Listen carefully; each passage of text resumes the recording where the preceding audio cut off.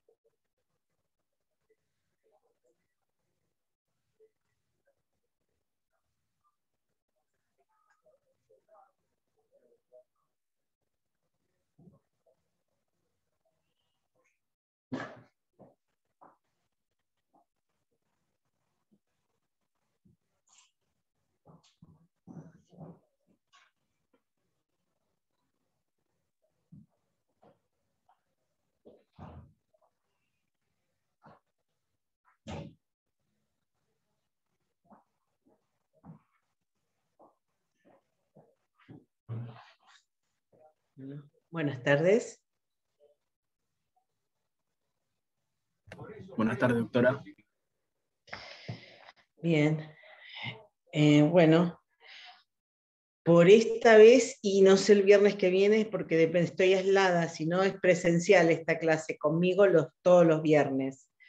Eh, no sé el viernes que viene, porque recién nos van a dar a mi familia el informe eh, hoy a la tarde, a ver si tenemos COVID o no, si tiene mi hija, y, si es así, me quedo aislada y no puedo ir a la facultad. Pero bueno, ya les avisarán en la semana que viene cómo será el otro viernes. Ahora estamos todos juntos, eh, los que eran teoría, más los que habían quedado de elementos, que era la comisión que estábamos nosotros, ¿verdad? Bien. Sí, profe. Eh, mm, de la última clase que tuvimos en la otra comisión, comenzamos hablando de eh, la unidad de resoluciones judiciales. Eh, ustedes saben que los actos procesales se pueden clasificar dependiendo de cómo, de una clasificación dependiendo de, de dónde emanan, se pueden dividir en actos o clasificar en actos procesales del juez, actos procesales de las partes y actos procesales de tercero. los actos procesales del juez específicamente están regulados en el código y son las resoluciones judiciales. Eh, es decir, que estamos dentro, si ustedes ven en la unidad eh, del programa, está dentro de la bolilla de actos procesales, porque son los actos procesales emanados del juez o del órgano jurisdiccional.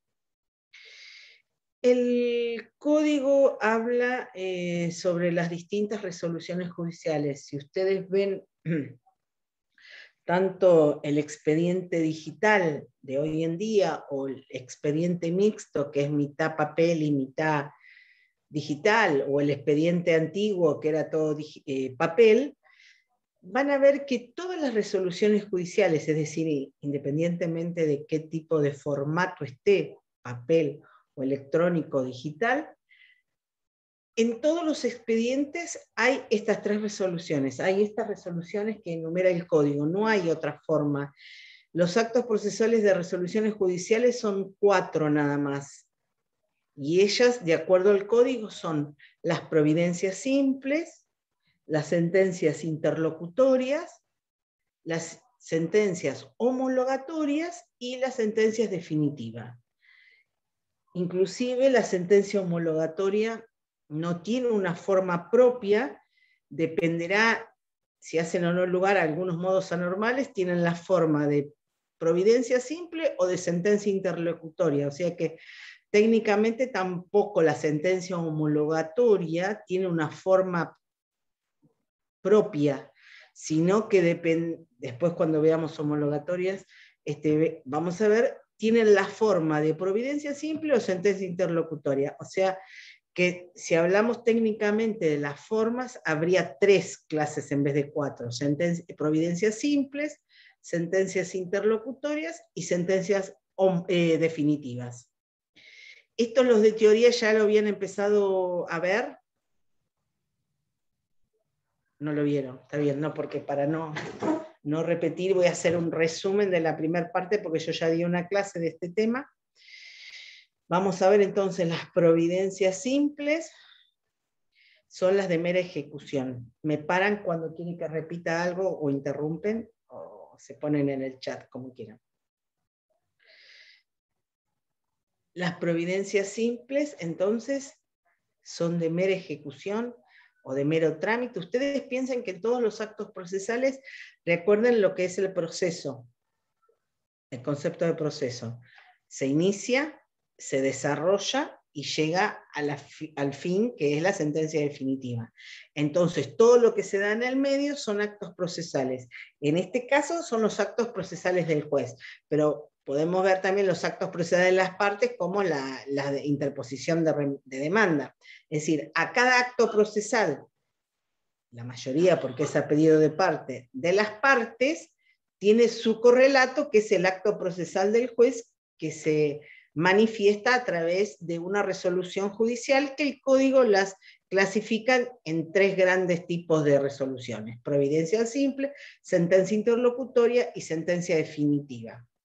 Entonces, la providencia simple es la que mm, de mayor cantidad que hay en un proceso, porque son las de mero trámite y sirven para el desenvolvimiento del, del proceso o de mera ejecución también. decir. Y tiene los requisitos de toda resolución judicial, que es la de lugar y fecha, la providencia, lo que dice específicamente, y la firma del juez.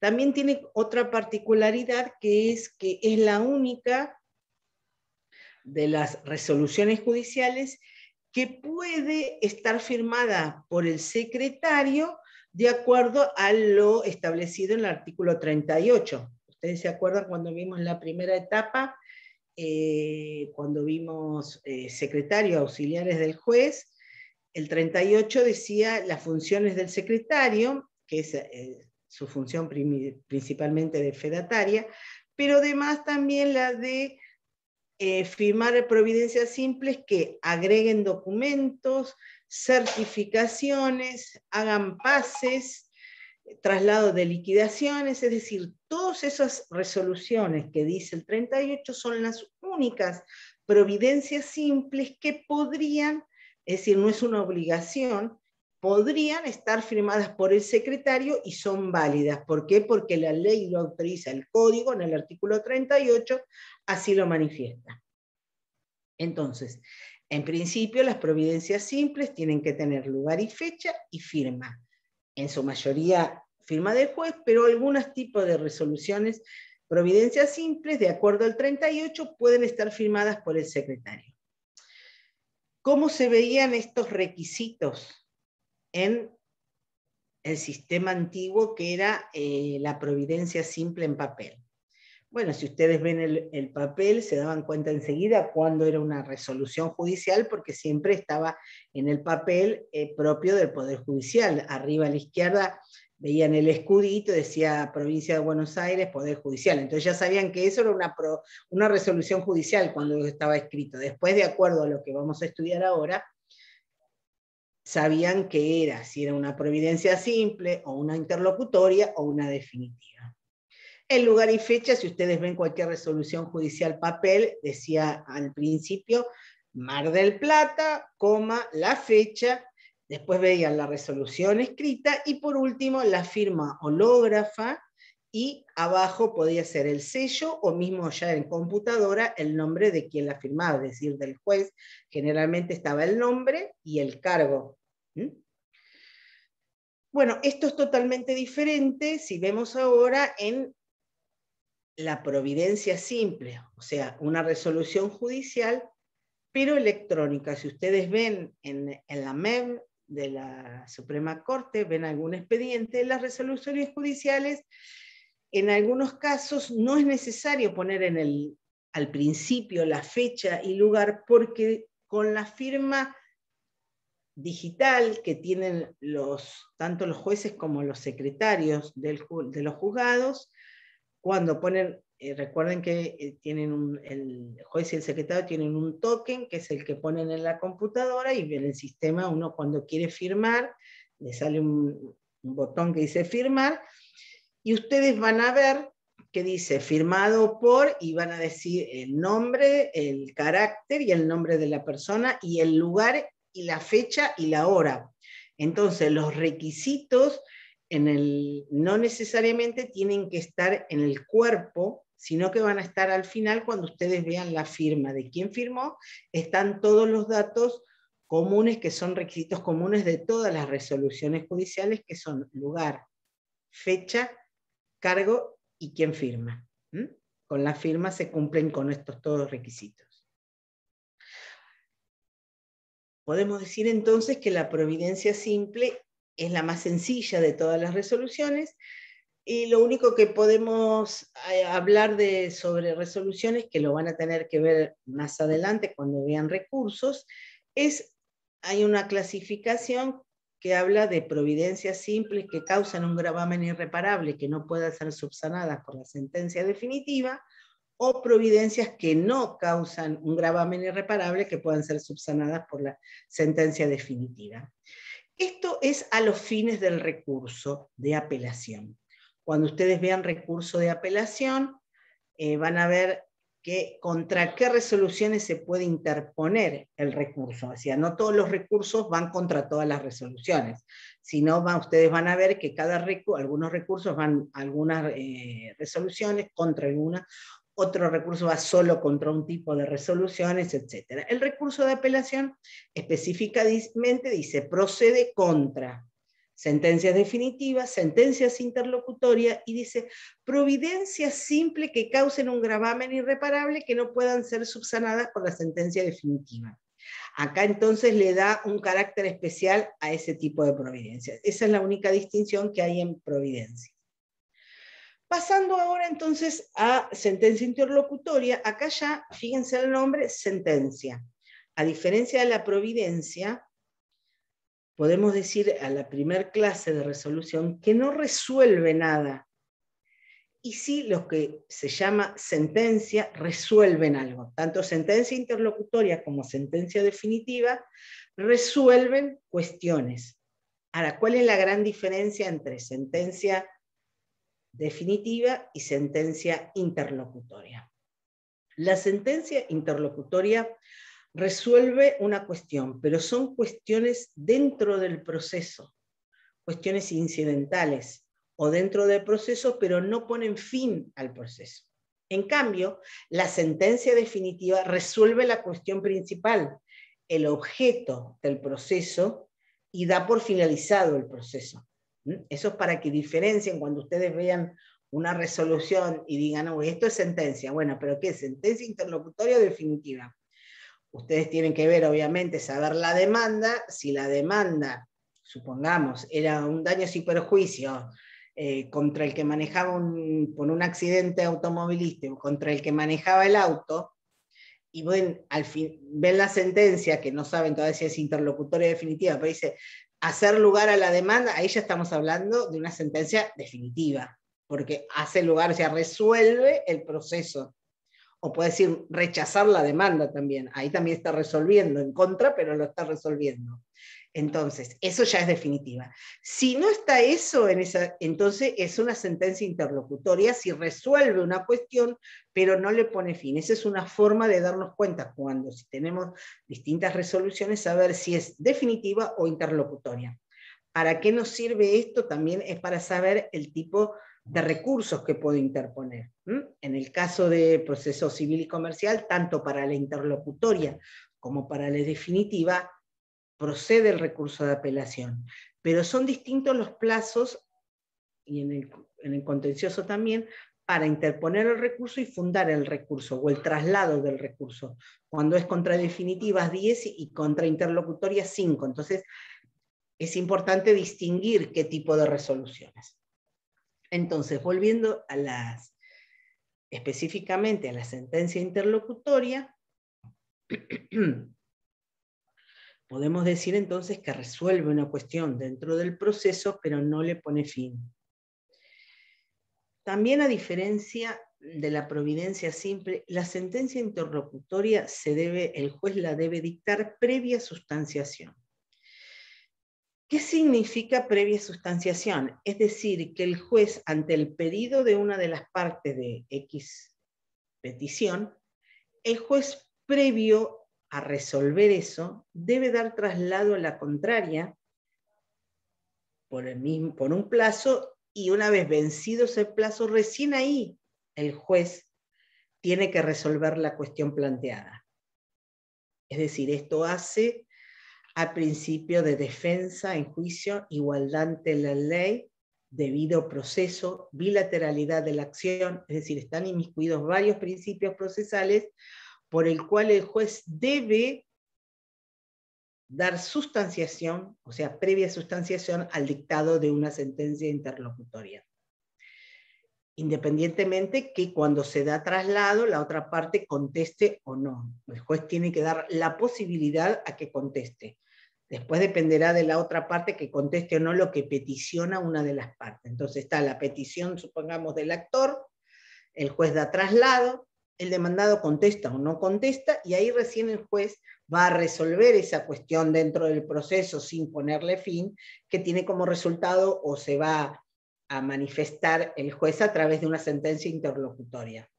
Entonces, la sentencia interlocutoria, la interlocutoria perdón, se dicta previa sustanciación y los requisitos son fundamentación en la ley, decisión expresa positiva y precisa y el pronunciamiento sobre costas. Repito, entonces, previa sustanciación, fundamentación en ley y la decisión expresa positiva y precisa y el pronunciamiento sobre costas. Es decir, que cuando ustedes ven estos puntos dentro de la resolución y además se dan cuenta que no pone fin al proceso, se da, tienen que reconocerla como una sentencia interlocutoria.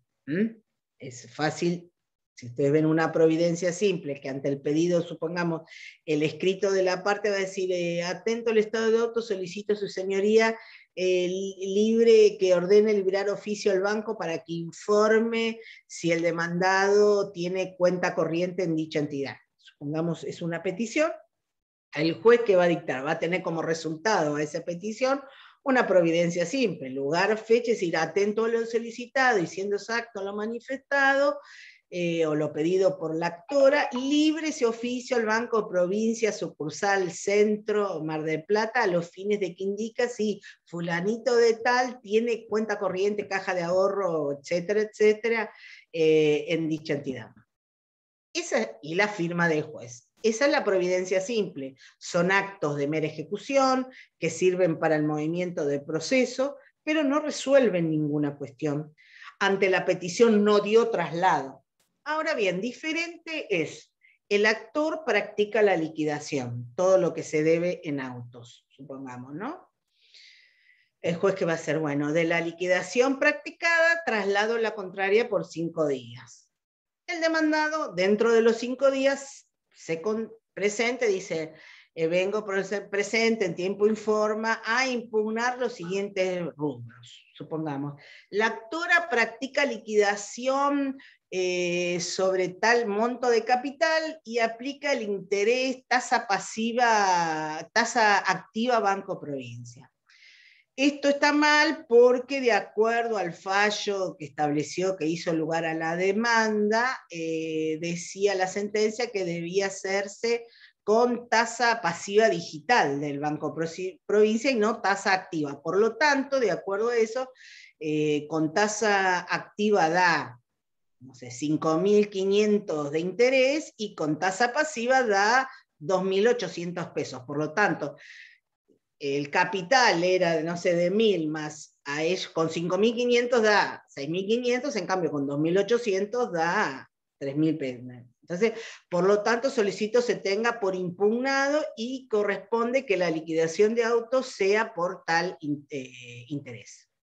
Ahí el juez ¿qué hace? Va a escuchar lo que planteó la liquidación de la actora, la contestación de la demandada, y ahí el juez va a resolver y va a decir, ahí fue, ya está la previa sustanciación, escuchó las dos partes sobre la cuestión. Y el juez ahí va a aplicar el derecho a decir, bueno, conforme la actora planteó la liquidación en tal, de tal forma, la demandada le impugna por esto y por esto conforme el artículo tal, conforme la ley tal, conforme la sentencia, ¿eh? corresponde rechazar, supongamos, la liquidación practicada por la actora y se hace lugar o corresponde que la liquidación de autos asciende a la suma de tantos con malos intereses conforme la tasa que como dice en sentencia. Y ese sería el segundo de los requisitos, que era la decisión expresa. Y el tercero, el pronunciamiento sobre costas. ¿Qué significa el pronunciamiento sobre costas? Quiere decir que en ese incidente, en esa incidencia, en esa controversia entre el actor y el demandado, en este caso por la liquidación, se debe regular, se debe decir quién ganó las costas. Y nosotros sabemos que nuestro sistema, en nuestro código, establece el sistema eh, que carga con las costas el que pierde el, vencimiento objetivo de la derrota. Entonces, en este caso, costas a cargo del actor vencido, porque el actor había puesto otra cosa, el demandado dijo, no, está mal hecha, eso sí, corresponde a esta forma, y la, el juez le da la razón al demandado, le dice, no, tiene razón el demandado, supongamos, ¿no? Y aprueba, dice que la liquidación es de tal manera. Entonces, las costas va a decir costas a cargo del actor vencido. Ustedes ven eso y entonces, habiendo estudiado, y obviamente la firma del juez, habiendo estudiado los requisitos y a ustedes le dan la primera resolución que decía atento a los solicitados, libre ese oficio al banco, de papá, y esta que les dije recién, tendrían que identificar rápidamente que una es una providencia simple y otra es una sentencia interlocutoria. Entonces recuerden que resuelve cuestiones, pero no le pone fin la interlocutoria, eso tenganlo claro, para no confundirla con la definitiva, que tal vez tiene estos mismos requisitos y además otros más, pero también resuelve una cuestión, tiene que tener la decisión expresa positiva y precisa, etc. Entonces, a veces pueden confundirla con, este, con la definitiva, pero una vez que ustedes aprendan o lean y sepan bien los requisitos, nunca tampoco se la podrían este, confundir. Lo que sí puede es que una interlocutoria a veces pone fin al proceso. No necesariamente, no es lo normal, pero a veces, en vez de generalmente, uno de los ejemplos, además de ser el que resuelve una liquidación, eh, también el que resuelve una excepción, pero a veces si la excepción, supongamos, es de pago parcial, es de pago total, si se hace lugar a la excepción, se termina el proceso. Pero supongamos que no se haga lugar, ahí va a ser una interlocutoria y el proceso va a seguir. Por eso no lo digan así de manera general. Sí, a ver, un ejemplo interlocutoria, eh, un ejemplo de sentencia, la que resuelve excepciones. Algunas excepciones se tornan en definitiva por lo que resuelven. ¿Por qué no sigue el proceso y se resuelve el proceso? La de prescripción también es un caso de que si, si bien las excepciones se resuelven por, mm, por sentencia interlocutoria, muchas veces eh, lo que tiene como resultado esa excepción es una definitiva porque resuelve el proceso y le pone fin. Eh, depende del tipo de excepción. Eh, después el código menciona, enumera las sentencias homologatorias. Acá esto em, yo les dije al principio, no tienen una forma propia. Y solamente menciona el código que estas sentencias se dictan en los casos de desistimiento, transacción y conciliación. Remite a esos artículos, a esos modos anormales de terminación del proceso, y dice que en los casos en que se haga lugar al desistimiento, a la transacción o a la conciliación, esa resolución judicial va a tener la forma de providencia simple. En cambio, cuando no se haga lugar a ese desistimiento, eh, a esa transacción y esa conciliación, va a tener la forma de sentencia interlocutoria. Es decir, fíjense que la sentencia homologatoria entonces es para unos casos de modos anormales de terminación del proceso, es decir, no el modo normal, que es la sentencia definitiva. Entonces, la homologatoria se da en esos casos en cuando se plantea esos modos anormales en un proceso, pero que la forma que tiene esa resolución judicial depende del contenido. Si hace lugar a ese modo anormal de terminación del proceso, la forma es providencia simple. Y si no hace lugar a ese modo anormal, la forma la tiene de sentencia interlocutoria, es decir, bilateralidad, eh, traslado, eh, previo traslado, fundamentación en ley, decisión y pronunciamiento sobre costas. Esa es, eh, es un, ustedes lo van a ver al código, es un artículo solo, por eso les digo que a veces, si bien están enumerados dentro como una cuarta modo, eh, modo de resoluciones judiciales, técnicamente no es un cuarto porque depende del contenido, es providencia simple o interlocutoria. Y por último, vamos a hablar de la última resolución judicial que enumera el código, que es la sentencia definitiva.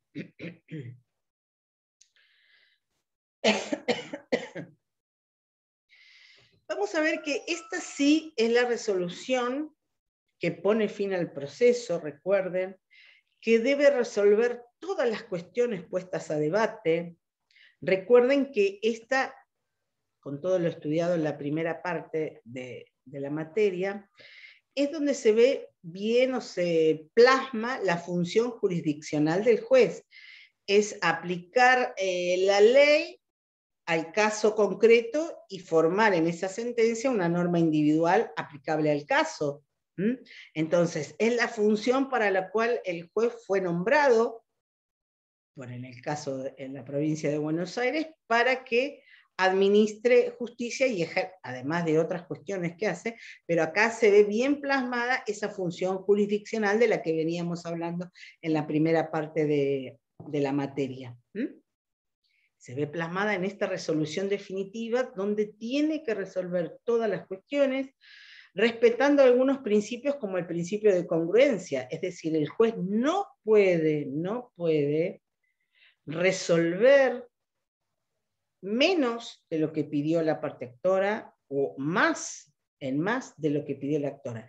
Si la actora pidió en el reclamo, en el ejemplo que di anteriormente, de un daños y perjuicios por un accidente automovilístico, y solo pide, supongamos, eh, daño emergente sobre una quebradura, pero no pide el daño estético de la pierna o de la cara en el mismo accidente, y de las pruebas resulta que la persona, el actor, además de la quebradura, tiene un daño, un tajo en la cara, supongamos. El juez no puede, por, si de las, de las pruebas surge eso, decir también, se, no sé, se condena al demandado a pagar la suma por daño estético. ¿Por qué? Porque el actor no lo solicitó. Es decir, el juez tiene que resolver sobre las cuestiones puestas a debate, a lo peticionado por el actor, no puede en más, que sería el ejemplo que yo lo di, ni en menos. Es decir, si pide tres rubros de daños, el juez no puede omitir ninguno.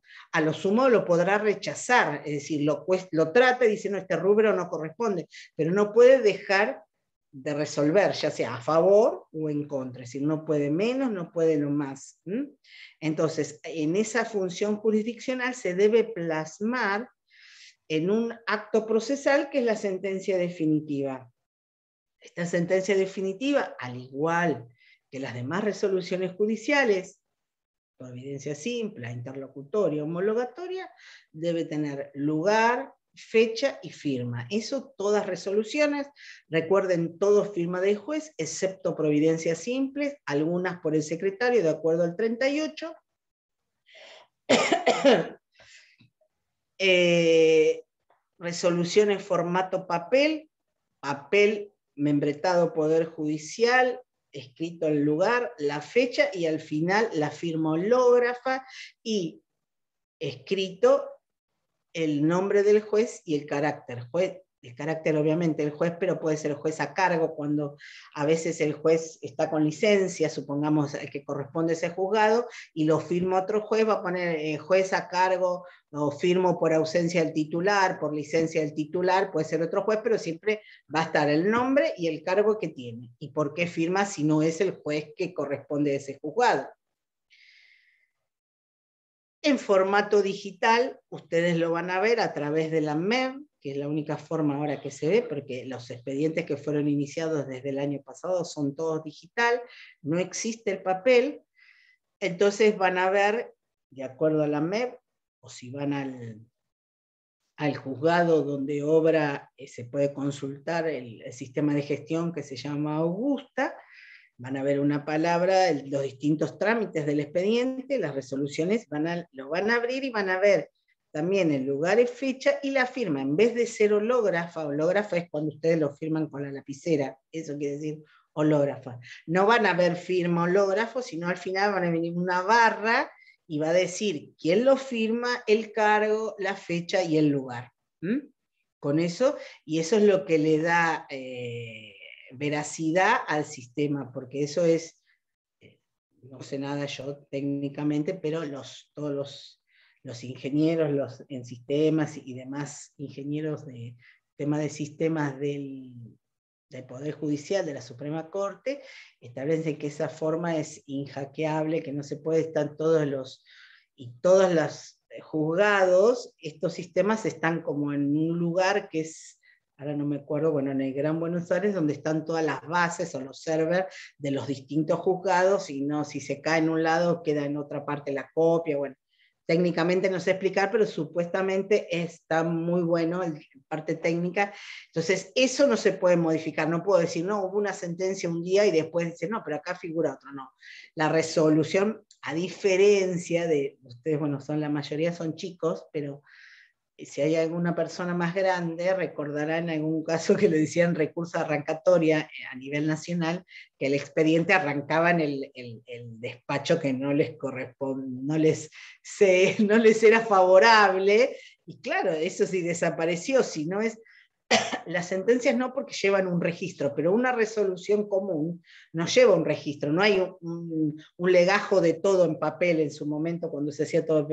Si alguien pedía el expediente y le decía voy a fotocopiar, supongamos, si se lo llevaba y un despacho no le gustaba, lo arrancaba del expediente, lo devolvía al expediente y eso no existía porque no había copia, no había eh, respaldo en algún otro lado, existía solamente el papel y no había un, copia, un legajo de copias. había legajo de copias como ser en los procesos concursales, sí, porque la ley establece de que todo lo que se hacía en papel había un legajo de copias, todo igual en uno, bueno, en los procesos normales, salvo las sentencias definitivas e interlocutorias que sí la ley, no la ley, las acordadas establecen que esas resoluciones, antes por las dudas, se perdiera el expediente principal, ¿Qué pasaba si se perdía el expediente principal o lo arrancaban a la sentencia definitiva? La persona que había sido favorecida o la que no, se perjudicaba porque no existía copia de eso. Entonces, de esas resoluciones, el secretario tiene la obligación de llevar un registro. Si ustedes ven, igualmente en, en el sistema digital también se hace registro, pero antes tiene un nombre, decía registro bajo número, no sé, cuatro por año, iba por el número de sentencias que hacía y el folio, las fojas donde estaban. Entonces eso se, se ponía un libro, se lleva en un, no me sale la palabra, pero es como una carpeta grandota, ¿cómo se llama? Cada vez usamos más menos papel y no me acuerdo los nombres. Bueno, como una carpeta, pero esos que tienen unos ganchos anchos, entonces ahí se iban acumulando un bibliorato, ahí está, me acordé. En un bibliorato se iban poniendo las sentencias de, un juzgado, supongamos, estamos en el juzgado civil 4, no sé, en febrero se dicta una sentencia, a esa sentencia se le pone sentencia número 1 y de acuerdo son siete páginas de 1 a 7. Eh, pongamos que al otro día se dictaba otra sentencia, o los dos días se le ponía sentencia número 2 y se le seguía la, la numeración de las fojas de 8, 9, 10, y así, se iba poniendo así, a fin de año se iba y se mm, llevaba una imprenta y se hacía un libro con todas esas hojas. Entonces vos en el juzgado tenés el libro de sentencias del año X. Entonces vos sabés, se pierde el expediente, vos sabías que sabiéndola, pues, el, tanto el abogado del actor, el demandado, seguro sabe cuándo salió la sentencia, y dice, no, la sentencia tal año, bueno, a ver el libro de sentencias. Iba, se buscaba y ahí estaba la copia. Hoy eso se hace también, pero en forma todo digital. El secretario, en vez de imprimir todo eso, se hace y queda como en una carpetita, por decirlo aparte, con el número de registro, entonces uno puede fijarse ahí las eh, sentencias. Bueno, entonces, como vemos, ya la sentencia tiene otra entidad, porque justamente al resolver el proceso, donde se manifiesta la función jurisdiccional del juez, tiene que tener, inclusive, si ustedes ven en el código, los requisitos son mayores de los que venían, si vemos con eh, lo que pide para la providencia simple, después interlocutoria y por último esta en definitiva, que obviamente es más requisitos. más allá de los comunes que, reitero, lugar y fecha, firma eh, y firma del juez. Entonces, vamos a ver que esta sentencia, si ustedes leen una sentencia definitiva, eh, justamente como es lo que pone fin al proceso, ustedes van a ver como un, tendrían que entenderlo, si leen, como un resumen de todo el proceso, porque yo esa sentencia, cuando llega a la parte final, que es generalmente lo que vamos desesperados a ver, a ver qué dice, si hace lugar a la demanda o no, eso tiene que ser una construcción lógica que el juez haya hecho a través de los acontecimientos que se fueron sucediendo a lo largo del proceso, es decir, de todos los actos procesales, desde el acto procesal de la actora con el acto de inicio que fue con la demanda, hasta a este, este momento que está con el dictado de la sentencia. Entonces, los requisitos, este acto procesal del juez, en principio, también la doctrina ha dividido a, a la sentencia en tres grandes partes. Unos que son la primera, que es los resultandos, luego los considerandos y por último la parte dispositiva o fallo. Los resultandos es, podríamos decir, es el lugar y fecha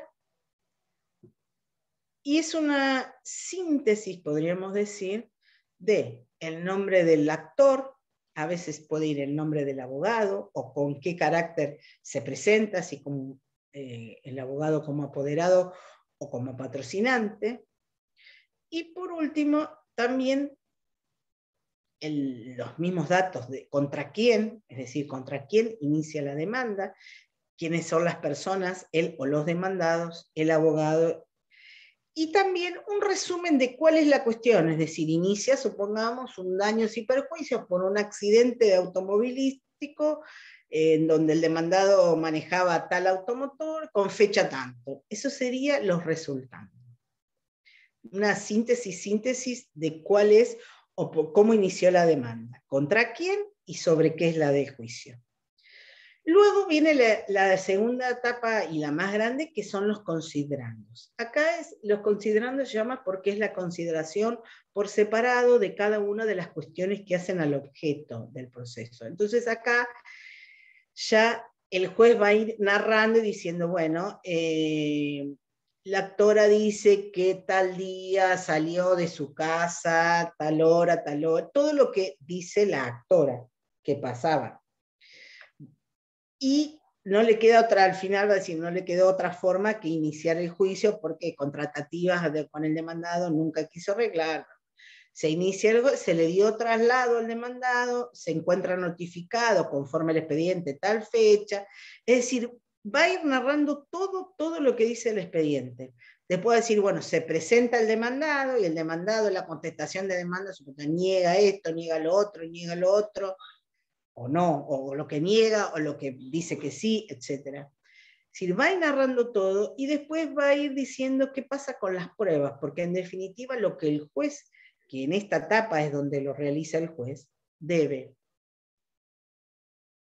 merituar la prueba. Ustedes recuerden que también cuando si ya empezaron a ver o antes no, o lo van a ver después, en la eh, unidad de prueba, tiene distintas etapas la etapa probatoria. Una es el ofrecimiento, otro el proveimiento, otra la producción y por último la valoración, que es la que hace el juez. Las otras tres, eh, las otras, salvo el proveimiento que la hace el juez también, o sea, el proveimiento y la valoración la hace el juez, el ofrecimiento y la producción la hace la parte que ofrece la prueba.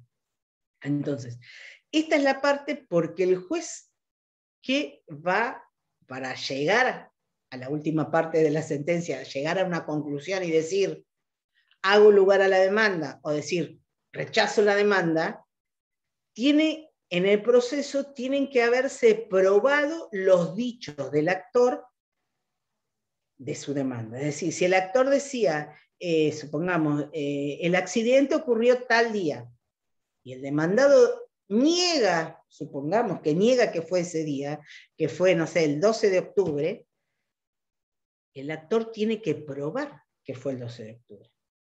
El demandado puede decir, sí es cierto, el 12 de octubre fue el accidente. Ese acto, entonces, ese hecho, mejor dicho, no hay que probarlo, porque está afirmado por una de las partes y reconocido por la demandada en este caso. Ese hecho no va a probarse. Ahora, el actor dice, eh, yo iba a salir de mi casa, iba a 30 kilómetros por hora. El demandado dice, no, no iba. Entonces, ¿cómo el actor, entonces, ahí hay un hecho controvertido. Uno dice que iba a 30 y el demandado dice que no iba a 30, que iba más.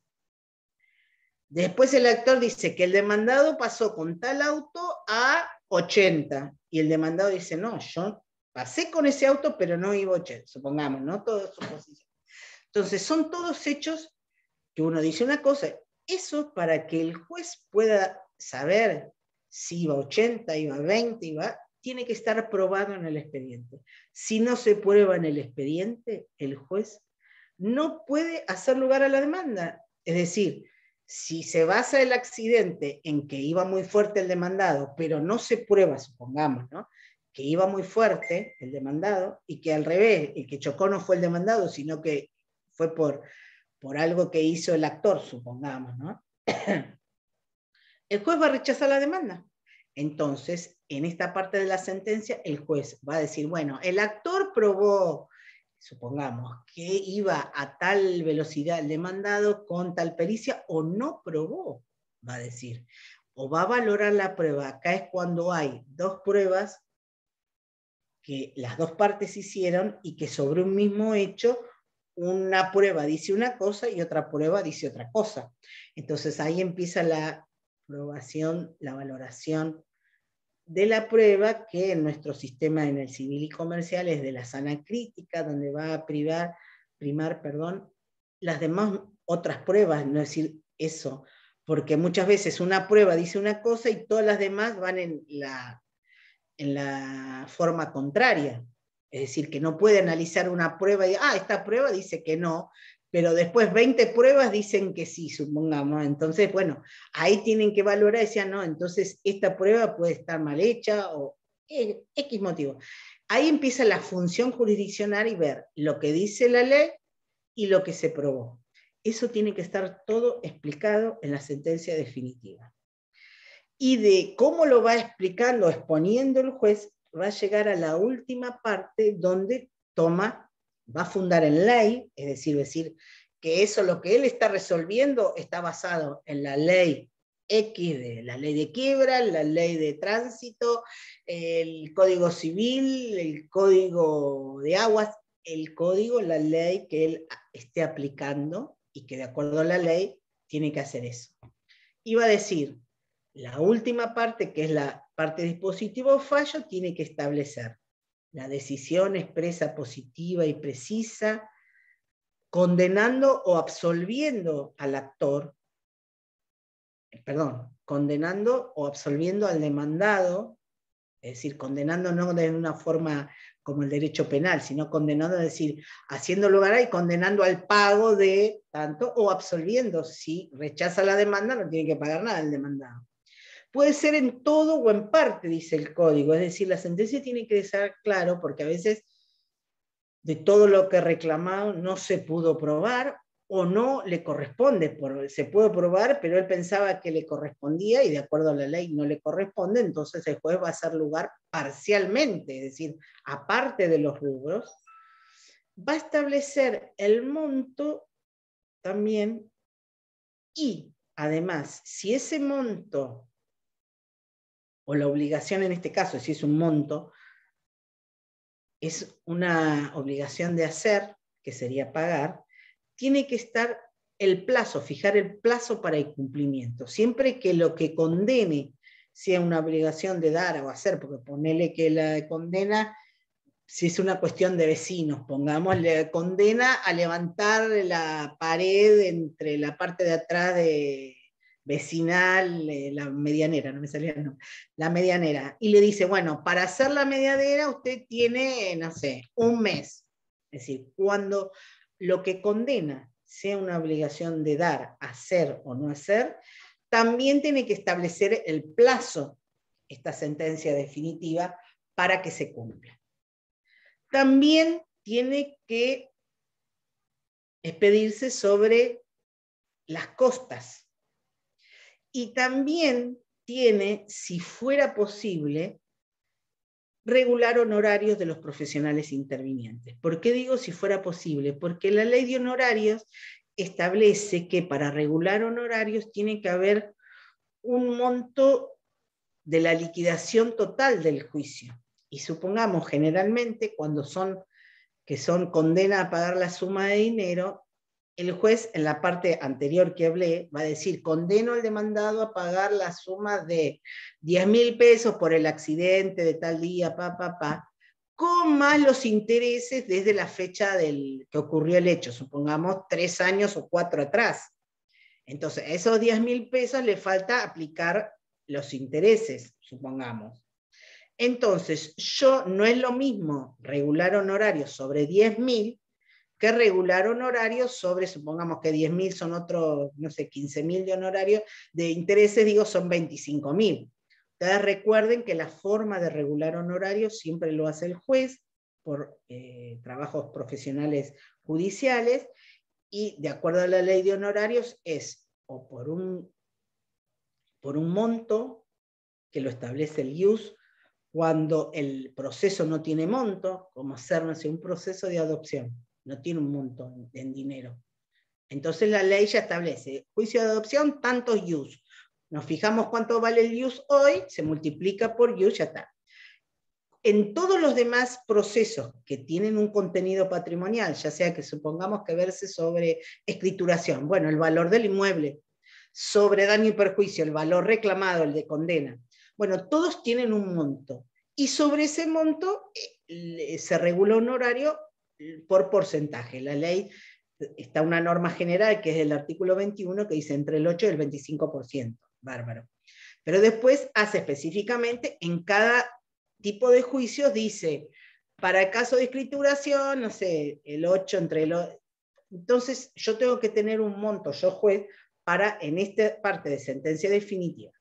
Cuando la sentencia condena a pagar un capital y falta la liquidación, Ahí por eso yo dije siempre que sea posible se regula honorario, sino en ese punto en que el código obliga al juez a, regular honorario, es decir, una vez deducida o se pasa a regular honorarios una vez que esté la liquidación practicada en auto, etc. Y también en, este, en esta sentencia al final se debe establecer la temeridad y malicia en que hubieran incurrido las partes. ¿Recuerdan cuando vimos eh, eh, deberes del juez, el 34? Uno, el último era aplicar sanciones por la temeridad y o malicia que hubieran actuado las partes en el proceso. Eso es cuando, ya sea a pedido de partes, alguna de ellas, o sea, la actora del demandado y el demandado de la actora, ha pedido que se establezcan esta multa por su actividad con temeridad y malicia dentro del proceso, es decir, con deslealtad procesal, etc. En este momento es donde el juez, si el juez considera que se dio, este, se vio configurada esta situación de, de deslealtad procesal entre las partes, va a decir si tal abogado actuó mal y establece una multa del 3-5% sobre el valor que se condena en la sentencia también como un plus para el que ganó el juicio. En este momento es en de la sentencia definitiva en la que debe establecer que existió la temeridad y malicia por alguna de las partes y establecer el monto que se le va a aplicar al eh, que actuó con temeridad y malicia en el proceso. Este y por último dice la firma del juez. Es decir, todos estos requisitos, si ustedes van a ver, son nueve incisos dentro del artículo, tienen que ver con este desarrollo y todo esto va a estar plasmado en la sentencia definitiva. Por eso cuando ustedes les den, eh, si tuvieran que ver eh, así documentos, ya sea en papel o en la MED, con esto, la cantidad de requisitos que tiene y lo que debe contener una sentencia definitiva que dice el código y los menos requisitos que dice una interlocutoria que tiene el código, con la simple lectura de ambos piezas ustedes deberían reconocer rápidamente cuándo es una sentencia definitiva y cuándo es una sentencia interlocutoria, o que hablar con una providencia simple. ¿Alguna pregunta eh, sobre resoluciones judiciales? No sé si hay algún alumno de teoría, eh, de perdón, de elementos que, que cursó el viernes pasado. Yo, profe. Ah, vos, vos estabas, no me acordaba, mira, este, que ahora te ve, te vi ahí, no. Bueno, que porque hablé un poco, repetí, pero incorporé sentencia definitiva que teníamos para ahí, para los antiguos, los otros compañeros. Bueno. Eh, vamos a ver esto nada más y, dejo acá a las cuatro porque por Zoom más de una hora este, no es recomendable. Eh, esperemos que el próximo viernes, si si estamos todos bien, los veo personalmente. Y si no, ya les avisaremos por acá. ¿Qué pasa una vez dictada la sentencia definitiva? Esto es lo que se llama, o cuando, esto es porque a veces el concepto eh, se confunde con la cosa juzgada.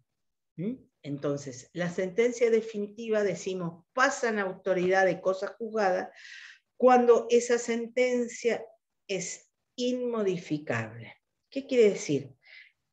Que una vez dictada la sentencia definitiva, notificada y vencidos los plazos para interponer recursos, como no se puede interponer recursos, esa sentencia es inmodificable. Por eso decimos que esa sentencia pasó en autoridad de cosa juzgada. No se puede modificar. ¿Por qué? Porque ya se vencieron los plazos y no se interpuso recurso. O interpuestos recursos ya se fueron resueltos por los órganos superiores y no se modificó. Entonces, en ese caso, esa sentencia se dice pasó en autoridad de cosa juzgada. Ahora bien, esa eh, autoridad de cosa juzgada se clasifica en dos, en cosa juzgada en sentido material y otra en sentido formal. ¿Qué quiere decir esto? Que en los procesos de conocimiento siempre la sentencia pasa en autoridad de cosa juzgada material. En cambio, en los procesos de ejecución, la sentencia pasa en autoridad de cosa juzgada formal. ¿Por qué se hace esa distinción? Justamente porque las sentencias de los procesos ejecutivos, al no tener conocimiento de la causa. Ustedes recuerden en los procesos, ¿ya vieron procesos de la clasificación, los tipos de procesos? No. Bien. Cuando vean la clasificación, uno de ellos es el proceso ejecutivo. Van a ver que las características de estos procesos solamente se discute el título. Como ser un proceso ejecutivo es la ejecución de un cheque. Yo voy con un cheque que me pagan y el banco me lo sella y no está sin fondo. Bueno, ¿qué hago? Le, lo llamo al que me firmó el cheque, le digo, mira, ah, no sé, no sé, bueno, no me lo quiere pagar, le digo, fui al banco, me dice no tener fondo. ¿Cómo hago para cobrarlo? Tengo que iniciar un proceso de ejecución. Que el título ejecutivo a estos algunos títulos que la ley establece, les da la posibilidad para agilizar y la actividad comercial que vos lo puedas cobrar de una manera más rápida y la forma es a través del proceso de ejecución. Y justamente para que sea más rápido, el codificador, cuando hace el código procesal, da unas ciertas pautas en el proceso de ejecución que tiene que ver solamente con el título, en este caso el cheque. No se discute por qué a vos te dio el cheque, si justo, porque ponele el, tipo que era que te, no que te dio el cheque, sí, el que te dio el cheque, capaz que no pagó, no tenía fondos porque vos no le diste al que se lo dio el cheque, no le diste la mercadería, suponete que es uno es el, el que le da la mercadería, le da el cheque, dice, no, ah, y al final este yo le di el cheque, no me dio la mercadería, no le pongo fondo, entonces cuando lo va a cobrar, no cobra. Yo esa eh, discusión, que es la causa por la cual no le pago, no la puedo introducir en un proceso de ejecución. Porque no, para eso está un proceso de conocimiento. Entonces, en el de ejecución, como justamente no se discute, no se puede ver otras cuestiones solamente sobre el, título, la sentencia que resuelve ese proceso de ejecución puede ser modificada. Por eso se llama que la sentencia del juicio ejecutivo hace cosa juzgada en sentido formal, porque puede ser modificada por el juicio ordinario posterior. Ustedes lo van a ver cuando vean procesos de ejecución, que la sentencia del proceso de ejecución entonces hace cosa juzgada en sentido formal y puede ser modificado por el juicio ordinario posterior. Eh, si material no la dije todavía, empecé por la formal. La material es, se da en los procesos de conocimiento. ¿Por qué es material? Porque ahí sí no se puede modificar. ¿Por qué? Justamente porque se dio esa sentencia en un proceso de conocimiento.